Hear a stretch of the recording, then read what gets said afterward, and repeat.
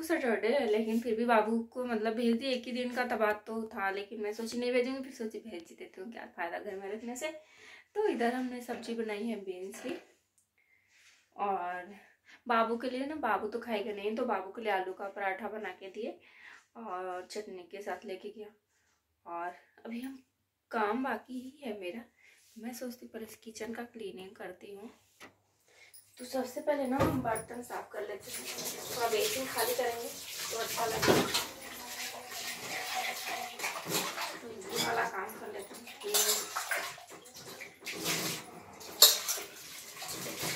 आज बाबू को ना केला का बनाई थी सेक बना के दी क्योंकि उसको बोला था कि हम केलॉक्स खाएँगे ना तो लेट हो जाएगा तो फिर उसके बाद उसके लिए हमने सेक बनाया। तो सेक ही था, इसलिए बोल रहा था, लेट नहीं हो रहा था, लेकिन मैं बोली, चलो कोई नहीं, तुमको सेक ही खिला देते हैं। तो हमने बाबू को सेठ खिलाया और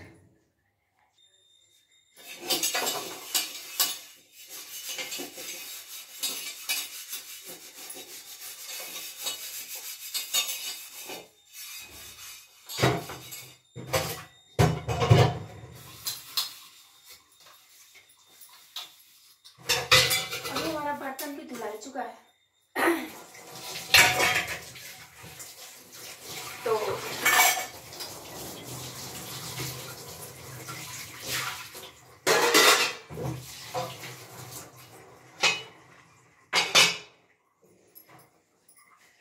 करेंगे सब्ज़ी को खाली और उसके बाद किचन की सफ़ाई होगी हमारी।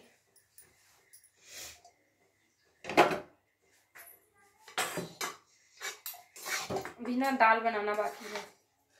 आज बीन्स का सब्ज़ी बनाई है तो दाल तो बनाना पड़ेगा। तो आजकल दाल बहुत बनाती हूँ पहले बहुत दो ही दाल बन जाता पहले। बिना दाल का काम नहीं चलता था, अभी बाबू के चक्कर से मैं सुबह सुबह दाल बनाना ही बंद कर दी हूँ। शाम को बना लेती हूँ, क्योंकि बाबू को क्या होता है उसको समझ में नहीं आता। है ये सब सब्ज़ी कोई भी वेजिटेबल नहीं खाना चाहता। उसकी वजह से ना दाल सुबह में बनाना मुश्किल हो गया है।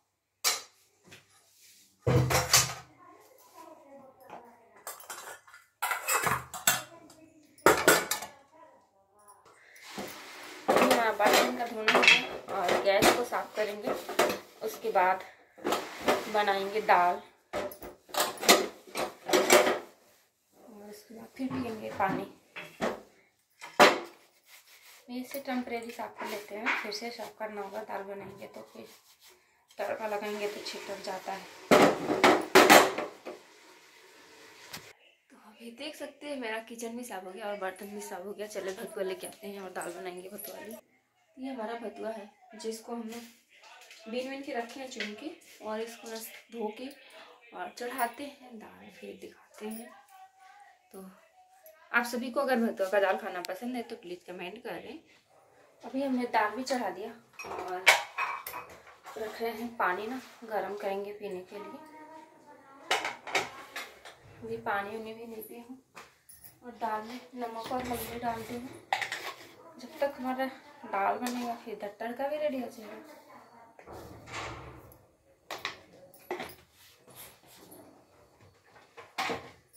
सुबह से कुछ ज़्यादा ही काम होता है, किसी को भी हो, हमको लगता है हर किसी का ही होता है।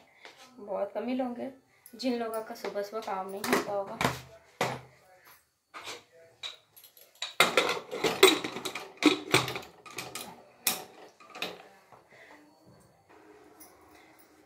भी ना मेरा पानी भी गर्म हो चुका है।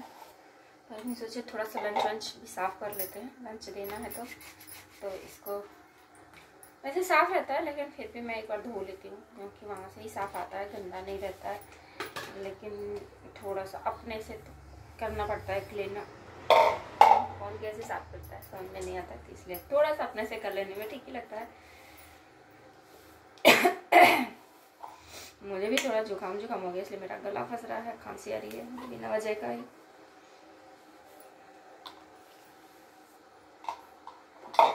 चलिए पानी पीते हैं। मैं सोच रही पानी में पी लेती और अपने लिए चाय भी चढ़ा देती। हूँ तो मेरा सर ना भारी भारी हो गया है, पता नहीं, जुकाम हल्का सा लग रहा है तो इसके वजह से ना सर भारी भारी लग रहा है। और ये हमारा पानी है।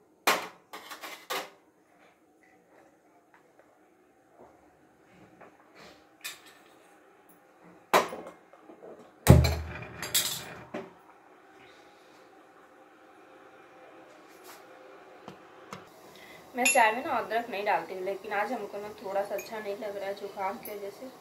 थोड़ा सा एकदम छोटा वाला टुकड़ा ले जो डाल दी।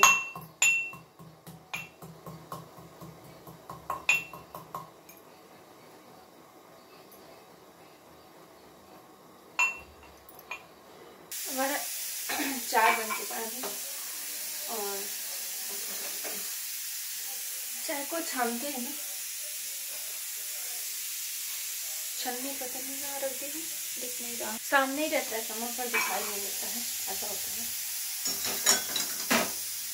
प्याज छानने के बाद ना तड़का बना लेते हैं और हमारी दाल के लिए तड़का सब कुछ काट वाट के रखती हूँ मतलब रेडी करके रखती हूँ।